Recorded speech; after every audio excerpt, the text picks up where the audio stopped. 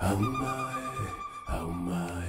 am Ellen Banda-Aaku, and my superpower is writing stories.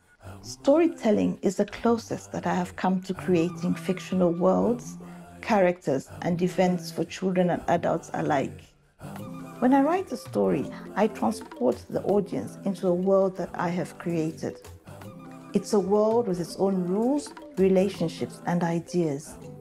And in this world, I can twist emotions, make powerful statements, and entertain the audience in beautiful ways.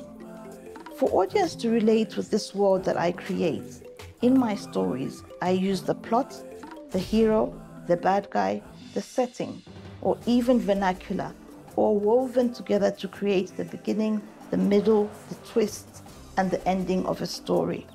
As can be seen on a show such as Mungoma, which is a Zambezi magic favorite.